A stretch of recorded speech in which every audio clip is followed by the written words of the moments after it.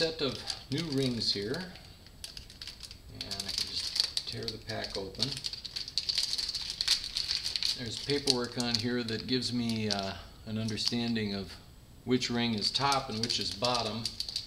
Then for the oil rings, um, you have the spacer, and then the two oil rings themselves, they don't have a top or a bottom. Um, they can go either way. And then uh, the spacer just goes between them. And uh, but the compression rings do have a top and a bottom, and they are labeled on the top. There's uh, a little R here, and then another little mark on this one that's 2R. Uh, and so, you know, for this particular set, this one is the top. But whatever set of rings you're using, they'll have instructions like this. Just follow them and make sure that you're putting the right ring in the right place because the uh, you can't see it with your naked eye really but the profile on these is different between these two rings and it makes a difference how they meet up with the cylinder wall. So um, the order from bottom to top matters and then what also matters is the orientation of the gap. We try to stagger these gaps all around the perimeter so that they're not all lined up with each other. And uh, the service manual has a uh, diagram that shows how these gaps should be positioned. Um, I'll put that up here. Um, but essentially, you've got you know the top of the piston. This is the exhaust side out, and you want to put the spacer gap here. Then one of the oil ring gaps to a 45 degree angle from that and the other one a 45 degree in the other direction. Then for the uh, second um, compression ring, the lower compression ring, that goes 45 degrees off here. And finally the top ring, the gap should be over here. So that's what I'm going to do. So I start with this uh, spacer. I want that to end up smack dab at the front. And that's a pretty easy guy to put on. Boom, boom, boom. There I am. And I've got these two oil holes I can use to center it. So then 45 degrees off of that is going to be over this way. And you know, this doesn't have to be exact, but try to get it. And then uh, grab these gently, but you gotta try to finesse it down. And just know that they're brittle, and if you try to bend them too much laterally, they're going to break on you.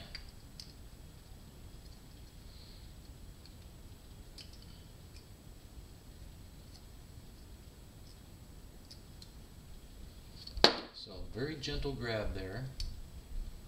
Okay, so now I've got the um, spacer gap is lined up right off the front. Then I've got this lower ring gap 45 degrees off to the side which you know is about right here frankly right on that line where the this cutout comes off of the skirt on this piston so that's a nice place to line up where did I just lose my, there it is.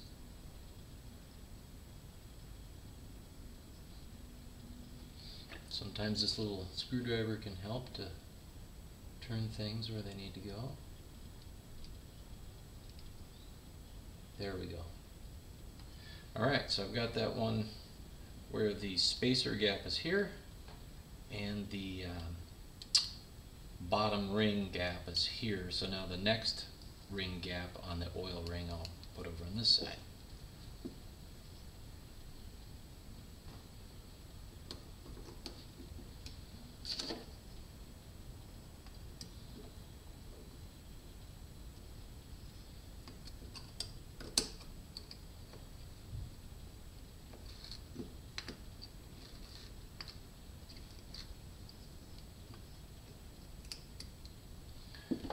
Okay.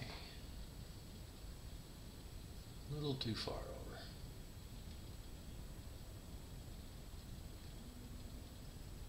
There. Bing, bing, and bing. Then number two, where are you? It's this one, and you want to make sure your marking is up. Number two goes off to, um, let me see, I can't remember now. To this side, that's right. And I'm going to use these snap ring pliers to help me. Let's get this started.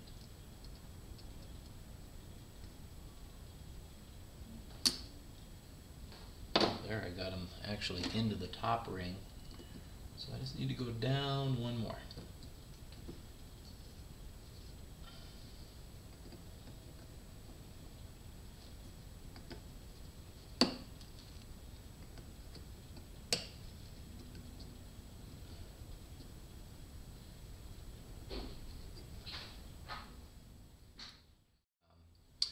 Got my bottom compression ring in and that's off to a 45 degree angle this way. So last one is the top ring and we're going to go 45 off this way. And again marking up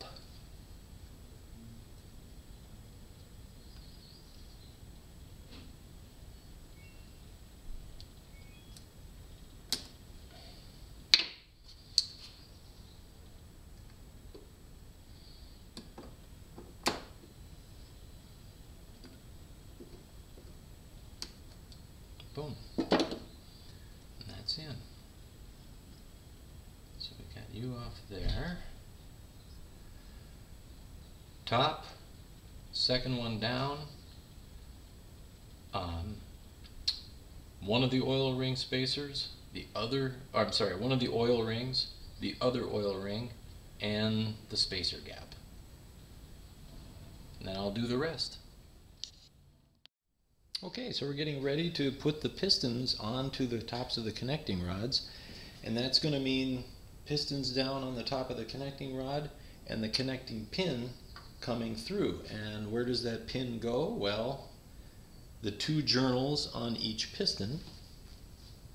I'll grab this one. So one here and one here. And so those are tight tolerances where you could have friction. And then of course inside that connecting rod. And they're not going to see any oil when we first start this engine up uh, for quite a few revolutions until the oil pump can catch up. So we've got to put something to lubricate this initially. And uh, what we want to use there is some assembly lube or uh, engine assembly lube. And I just put a little bit on a uh, clean paintbrush that I have around. There we go, and of course I can get it all over the paint. I'm just going to go ahead and put some of this on both of these that are up right now.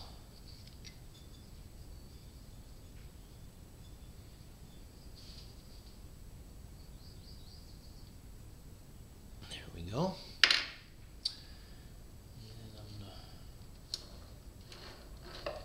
take these two up, same thing.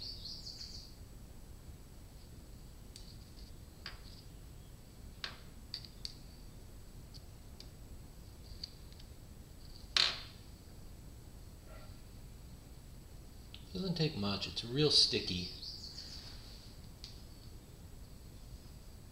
There.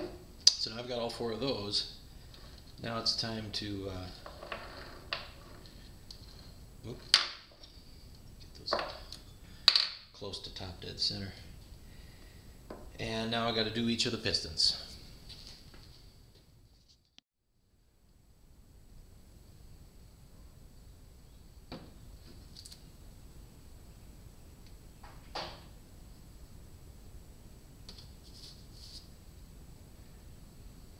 As I handle these pistons, I'm going to try to keep from moving those rings because they rotate quite easily. And I want to make sure that I'm keeping those gaps, um, you know, in their proper positions. So I'm just being careful about that.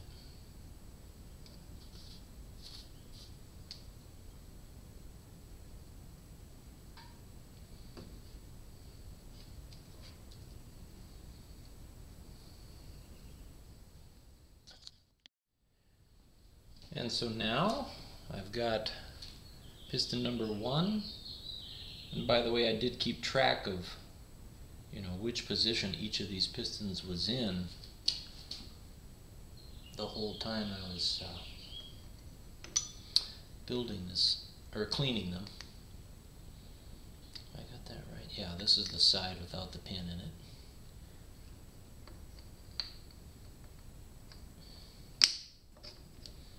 Where are you?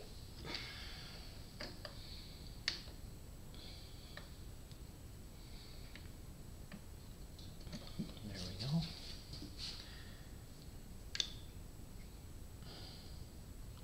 Okay, pin is in.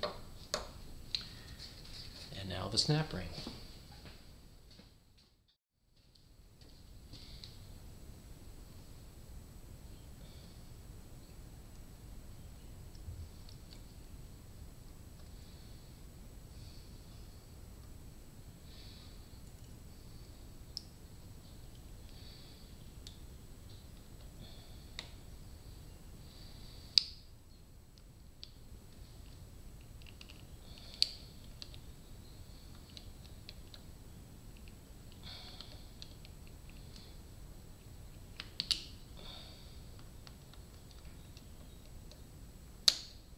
Boom. That's it.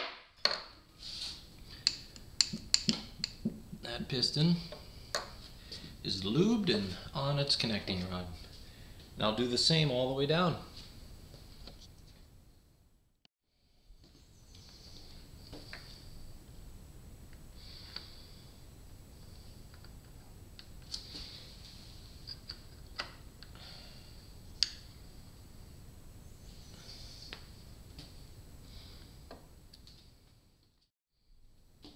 Do it from this side so I can see. There we go. Pin is in. Now the snap ring.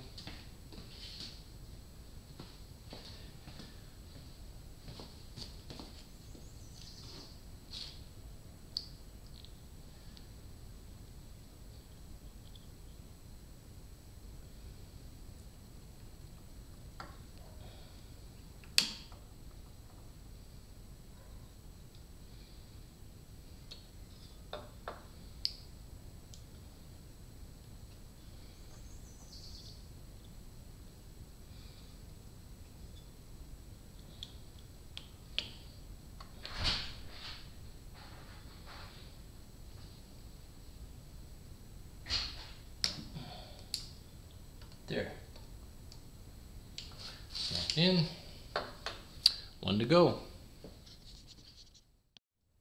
Okay, we got four pistons in here, which is pretty exciting to have that you know, going in the right direction now, back together. I uh, just wanted to point out arrows pointing forward on all the pistons. Uh, hard to see that one. And um, now I'm just going to go back and uh, reconfirm as I've handled these that I haven't moved or turned those rings so that the gaps are off. Uh, we want to make sure we keep those gaps where they belong. So I may have disturbed them some in, in mounting them on the connecting rod. So we'll recheck that at this point.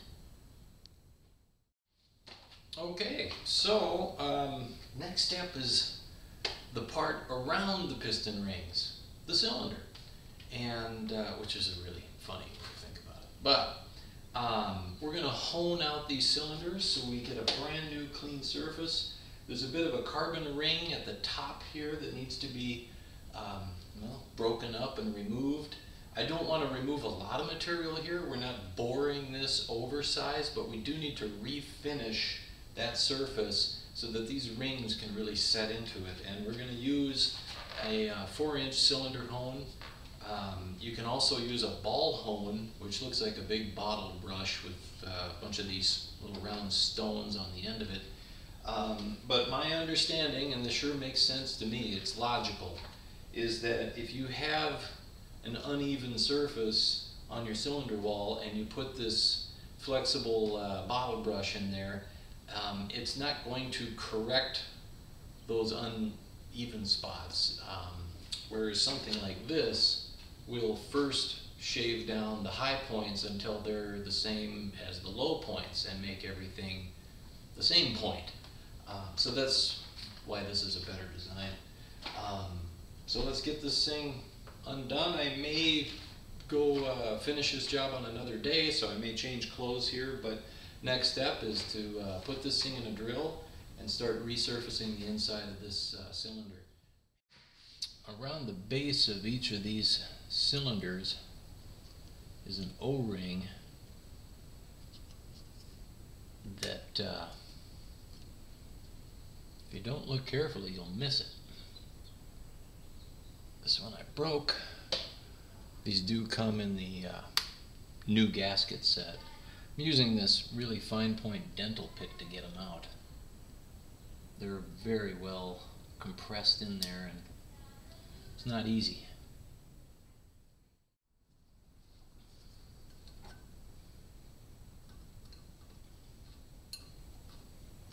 I was really needed some finessing out of there. I was picking and pulling at the same time. And they came apart in sometimes small pieces. So I've got all four out now. Going to get this gasket surface all cleaned up. So I've got to clean up all of these fins and get in between there. And of course my normal tool is a, a toothbrush, but it's just far too big. Um, what I'm going to do is cut off the bristles on this thing and make them shorter so that I can fit in there better um, because the number of bristles is these are just real effective for these small places.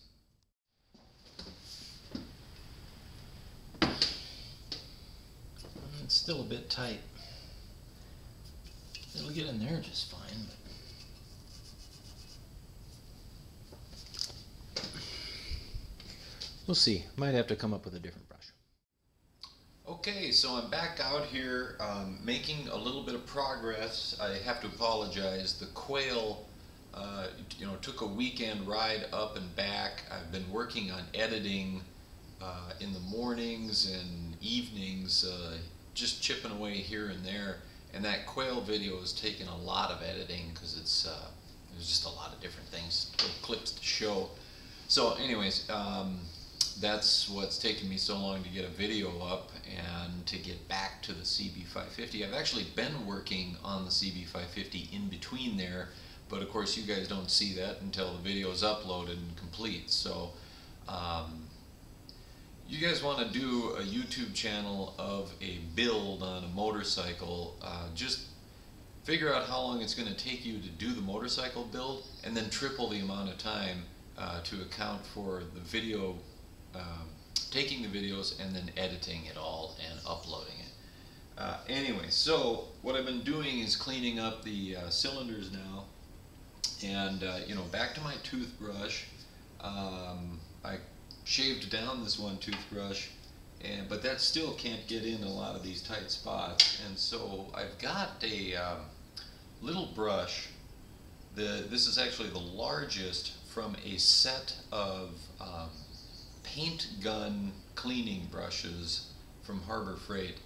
And uh, this gets in those grooves pretty well. Uh, this is taking me quite some time. But with kerosene, uh, I'm able to loosen up all of this black stuff and get it pretty clean. And then uh, I rinse it away with the uh, parts cleaner or carb spray and uh, that's what we're doing. So I'm getting this all cleaned up, and then I will hone the cylinders and hopefully get this thing edited and put back up.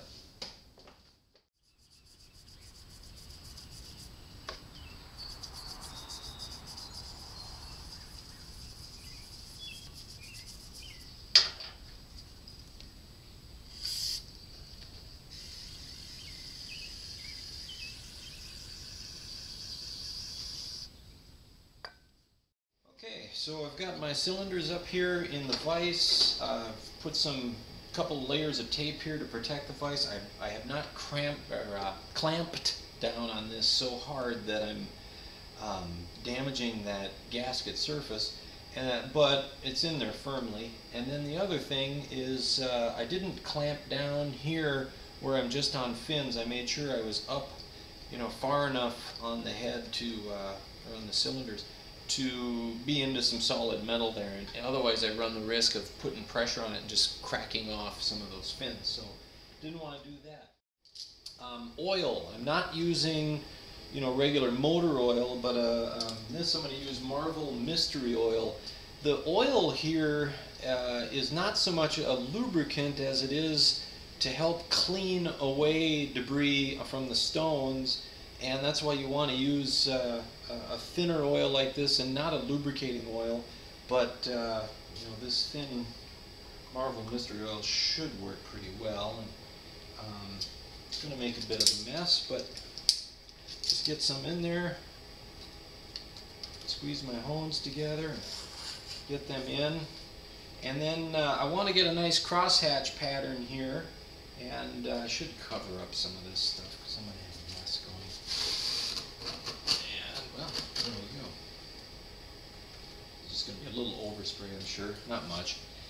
And um, as I'm spinning the drill, I want to go in and out but I don't want to go out so far that uh, you know that the stones ride up like this because then I'm just wearing on that edge so we don't want to come past maybe about here and you know same thing on the other side so I'm really um, going from maybe here to here so it's only about a two inch travel that I'm doing or less and uh, the speed you know you'll have to get the feel for it um, here we go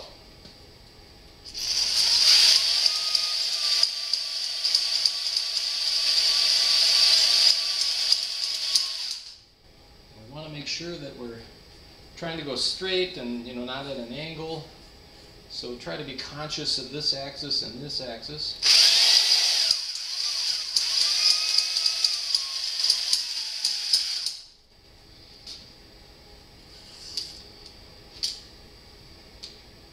Okay, definitely getting a nice pattern there, and I've certainly cut away this uh, carbon ring that was right here. See if I can show you what, what I've accomplished here. Doesn't take long. No, this camera always struggles with close-ups. But, you know, you can see we went from that. Let me grab a light. So we went from that to that. And I'm just trying to break the glaze and put a nice crosshatch pattern in there so that the new rings can set into that and uh, that they can pick up the oil and uh, get filled with oil and, and as those rings seat to this new surface you'll get a nice seal and good compression. So I'll keep going on the rest.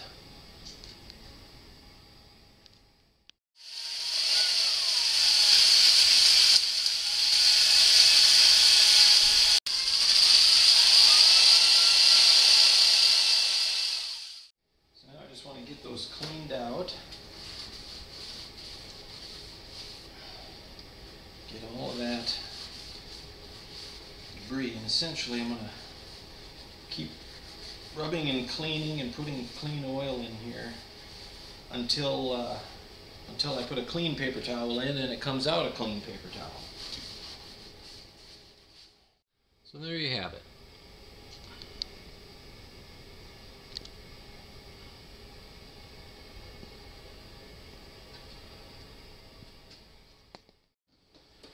Okay, so what I didn't show you a lot of was more of what's in past videos, cleaning, the pick, uh, the dental pick, the uh, uh, brushes, the kerosene, the, the little um, uh, spray gun brush.